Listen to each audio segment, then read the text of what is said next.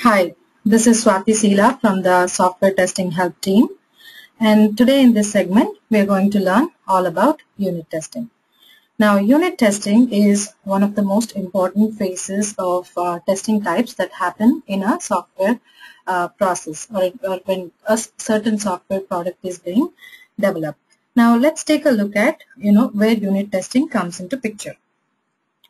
Now, um, once the code is built, so let's talk about the code building process for a little bit. Now, we know that all software projects are uh, based on teamwork. That means not one developer is going to build all of the code, which means units of code will be built and they will be put together to form a full comprehensive application under test or your final software product, right? Now, even if we assume that there is just one uh, software developer for a particular project, it does not mean that this developer is going to build all the code at once. So hence, um, there's again going to be a method of developing code in terms of, you know, individual blocks or units and then going ahead and putting them all together. So for now, we have established that uh, a unit is the smallest and complete in its own sense piece of code that takes an input, does a certain amount of processing, whatever this lines of code is talking about, and produces an output for us. So the smallest part of a code that is in a workable situation can be referred to as a particular unit of code. And obviously testing this piece of code will be, uh, you know, a unit testing process, correct? So we've established what unit testing is. Let's now go into a little bit more details about um, who does it, what does it involve, in which phase does it occur. So, okay. Um, unit testing can occur anytime a small, uh, you know, a basic unit of code is ready, right? So by ready, I mean it is already built, right? And then a, a formal review or a code walkthrough must have happened, which means um, there are no syntactic errors at this point. There might be like logic related errors, but syntactic errors are removed at this point.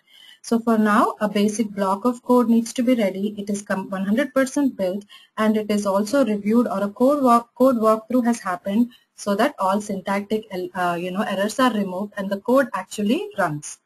Now second thing, so this is about when, right? Now talking about who. Who performs this unit testing? Since this involves taking a look at the code, right? This involves, uh, uh, you know, um, validating the code, uh, not just in the form of, you know, providing an input and um, not taking a look at the code at all and output. This middle part of the code, whatever we have, is not a black box for us. We are going to take a look at this code line by line uh, statement by statement. Again we'll come to all those techniques a little bit you know further. Uh, but all the line by line you know all the building blocks of the code have to be tested in other words validated. Which means a good understanding of programming language uh, and you know the programming structure is a prerequisite to be able to perform unit testing. So that is why when we have to answer the who part of unit testing this is mostly unit testers or developers. So our developers also moonlight as unit testers to finish to make sure that the basic building blocks of our code are correctly built. So we answered the when and the who. Now let's try to answer um, how, right? So we have established that it is a white box testing technique because it involves taking a look at the code and probably manipulation when you're trying to correct the mistakes that we in, in, um, you know uncover. So it is a white box testing technique which means um, uh, and also it's a validation technique. So we are going to provide an input, take a look at the code you know thoroughly. A thorough examination of a code will happen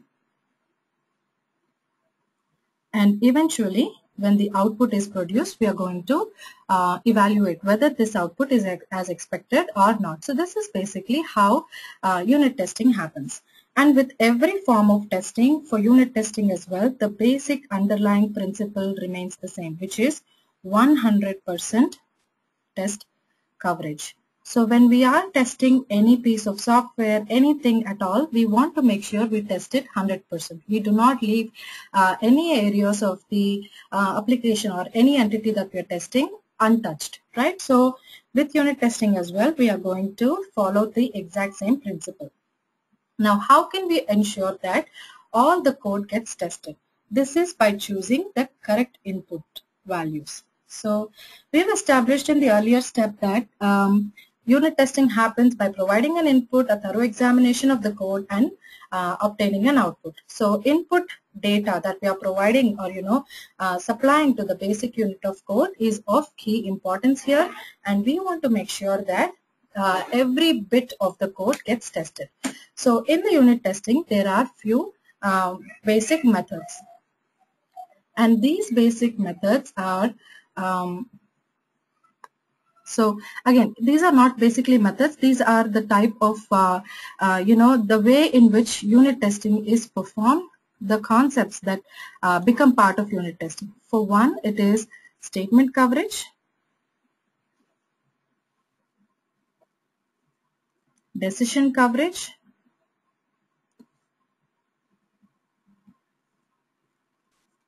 path coverage,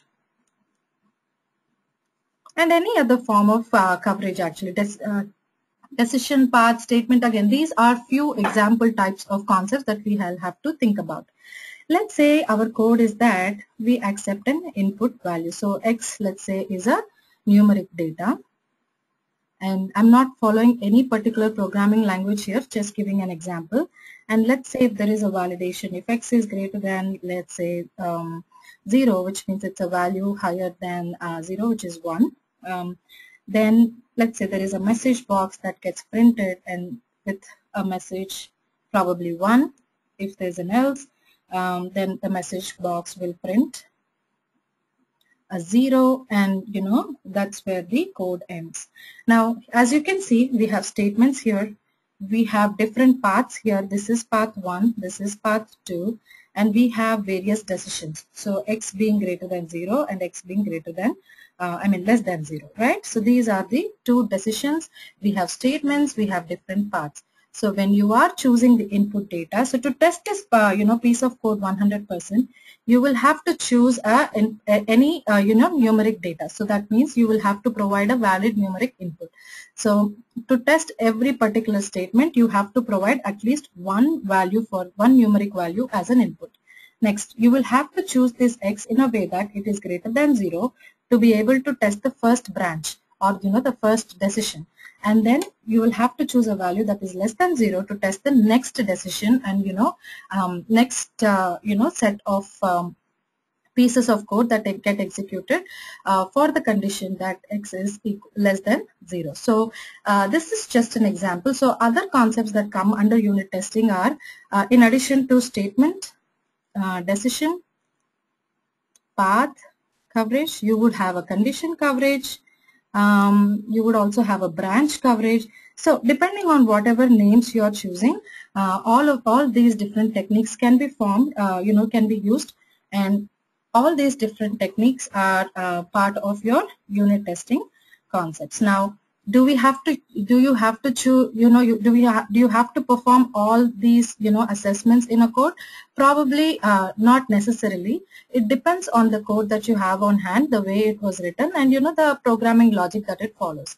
But uh, unit testing also follows the 100% test coverage rule. And to make sure that there is 100% test coverage all these components come in handy and the choice of input data is very critical so a quick recap, unit testing is nothing but testing of the basic blocks of code. And uh, the reason why there is unit testing is that we want to eliminate errors or you know problems in the code early on. And the best possible way to eliminate is as soon as the code gets created. So unit testing is uh, you know helps exactly that. Remove the uh, problems at the code level it is a white box testing technique.